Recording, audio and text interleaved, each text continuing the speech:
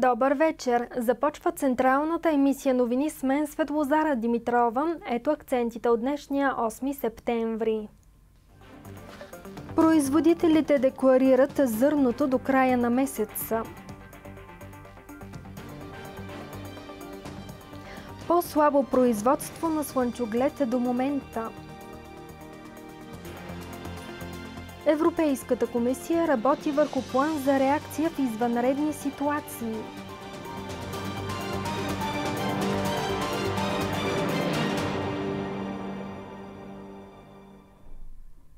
Зърнопроизводителите декларират новата реколта от зърното. До 30 септември те трябва да подадат декларация за количеството, което са произвели. Документът се подава в областните дирекции земеделие. До края на месеца се отчита количеството произведено зърно от обикновена пшеница, твърда пшеница, ечемик, ръж, тритикале, рапица и овес. В момента върви прибирането на пролетните култури, като тяхното отчитане предстои. До 30 ноември, съобразени с срока на прибиране на културите царевица, маслодаен слънчоглед, соя и оризова арпа, трябва да спазим тия срокове, за да може да подадем приложение номер 3. Това е една декларация в областните дирекции по земеделие. Декларация се подава от земеделския производител за количеството произведено зърно. Подаването става по два начина, обясняват от Съюза. Единият е документите се сканират с подписи се изпращат по имейла, като съответно нали, там, където се обработват площите, нали, съответната областна дирекция земеделие и, или на място, нали, фактически с такъв на хартиен носител.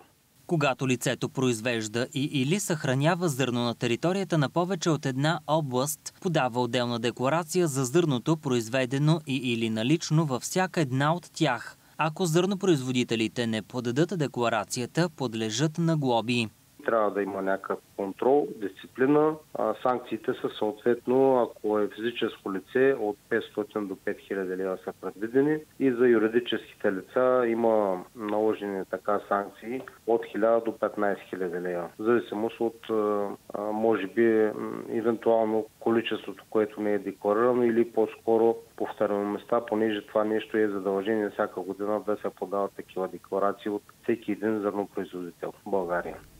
Съветът на браншовиците е стопаните да не се бавят с подаването на декларацията в последния момент. По-слабо производство на слънчоглед до момента отчита статистиката на Земеделското министерство. Това се обяснява с продължителното засушаване тази година, особено в североизточната част на страната. Предвид трябва да се има и че жътвата все още е в начален етап. Каква е ситуацията на полето? Провери наш екип в Софийското село Равно поле. Агрономите обясняват, че в района културата се развила отлично на опитно поле край селото се е наложило презасяване.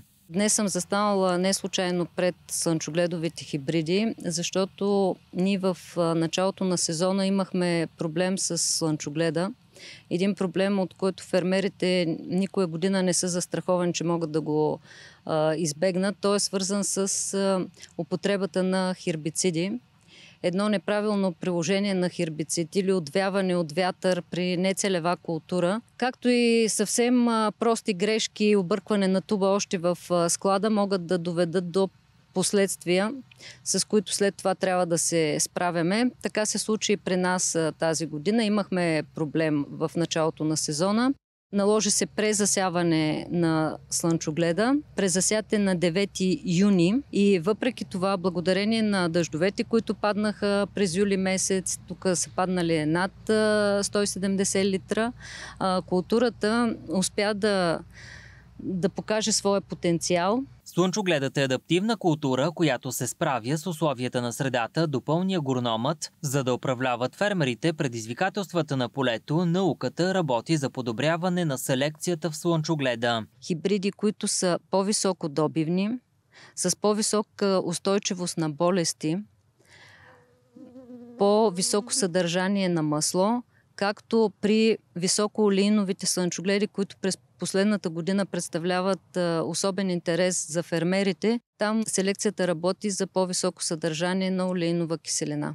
На места сушата се отрази негативно в развитието на слънчогледа, затова се разработват и хибриди, подходящи за сухи условия. Другото, което е ново при тези хибриди, при новата селекция, че са по-устойчиви на суша. Тъй като през последните години в районите, в които се отглежда слънчоглед, сушата е проблема, с който трудно може да се справи фермера. Резултатите от данните на агроведомството отчитат, че за момента средният добив при слънчогледа е 169 кг от декар или с 27% по-малко за година.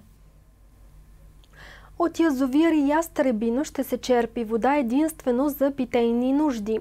Това стана ясно при посещението на министъра на околната среда и водите Емил Димитров на място. Припомням, че министърът започна проверки на язовирите Ястребино, Тича и Цонево във връзка с засушаването.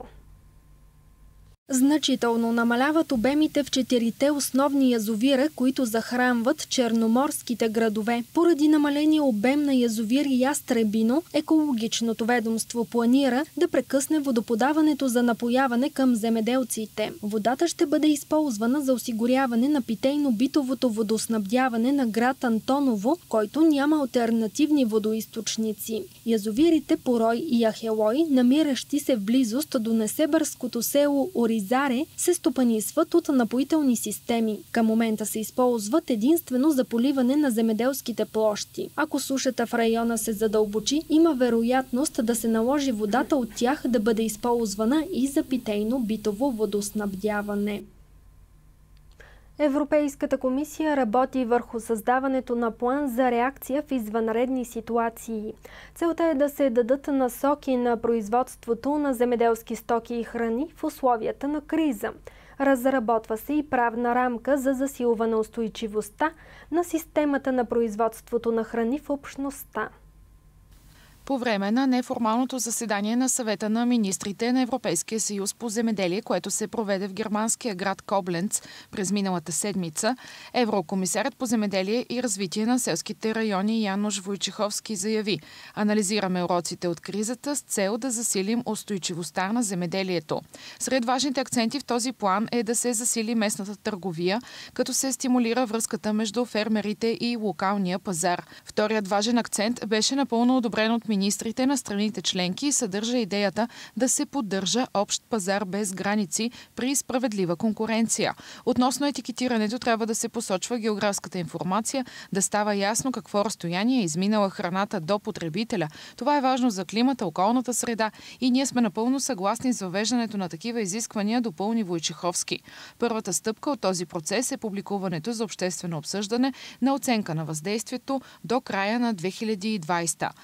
Комисарят смята законодателството за хуманно отношение към животните за добро. Проблемът според него е в системата за контрол, който се осъществява от държавите членки. Трябва да помислим за това как държавите да подобрят изпълнението на законодателството, заяви той.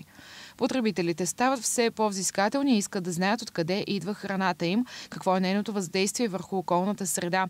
Имаме инструменти, с които да обвържем тези изисквания с директните плащания. Трябва да се струва от економическа гледна точка за производителите да се занимават с земеделие. В противен случай те ще се откажат. Каза от своя страна германският земеделски министър и домакин на събитието Юлия Клёкнер. България ще може да включи странджанския манов мед и горно-оряховския суджук в търговското споразумение с Китай. Вход е и процедура по защита на българско кисело мляко и бяло саламурено сирене, продукти към които има потенциален интерес от азиатската страна. България произвежда мед, вино и други продукти с защитени географски указания, които все още не са обект на достатъчно активен износ извън Европейския съюз. Поради тази причина някои от тях ще бъдат включени в новия списък с традиционни за държавите продукти, които получават защита на китайския пазар по силата на споразумението между Европейския съюз и правителството на Китайската народна република относно географските указания. Това заяви Джон Кларк, директор на отдел Международни отношения към Главна дирекция Земеделие и развитие на селските райони на Европейската комисия и главен преговарящ от страна на Европейската комисия по споразумението споразумението с Китай. Той обясни това в отговор на въпрос отправен от българския евродепутат Иво Христов. От това стана ясно, че скоро България ще може да включи странчанския манов мед и горно-оряховския суджук в обновения списък с географски указания на продукти на хранително-вкусовата промишленост на Европейския съюз. По същия начин китайски продукти ще бъдат защитени в Европейския съюз, с което се гарантира взаимно зачитане на най-добрите продукти от двете селско-стопански традиции. Припомняме, че през юли съвета прие решения за подписването на споразумението между Европейския съюз и правителството на Китай относно географските указания. Това е първото значимо двустранно търговско споразумение, подписано между Европейския съюз и Китай.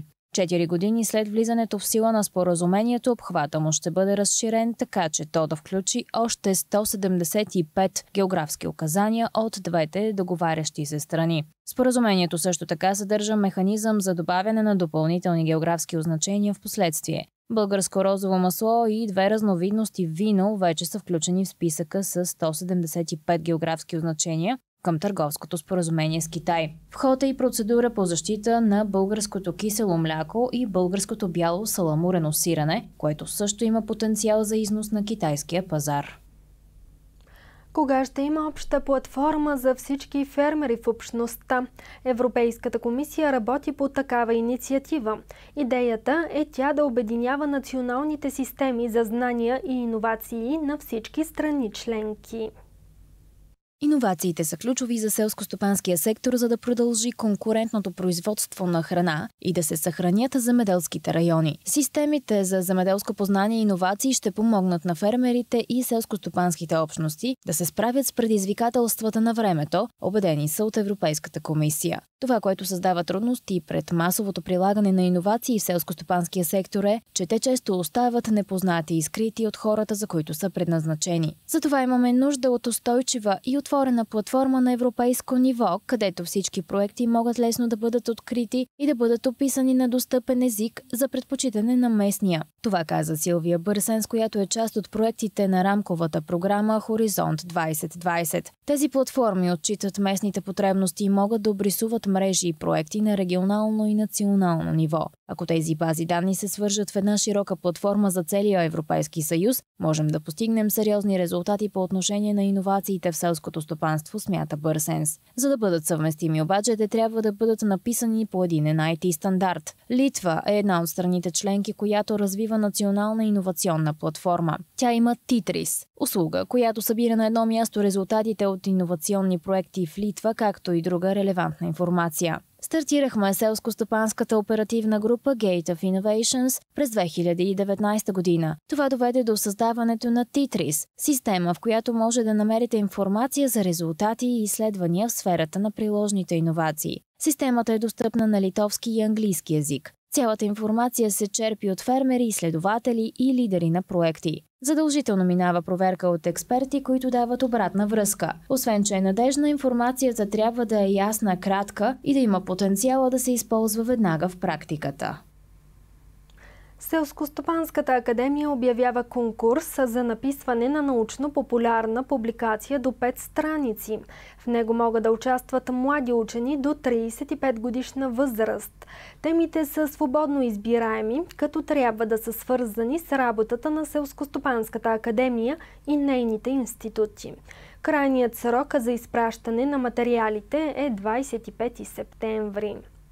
С тази информация идва финала на емисията. В програмата следва рубриката Новина Плюс, която днес е посветена на нотил технологията. Агротемата е за земеделските отношения между Аржентина и България. Не ги пропускайте.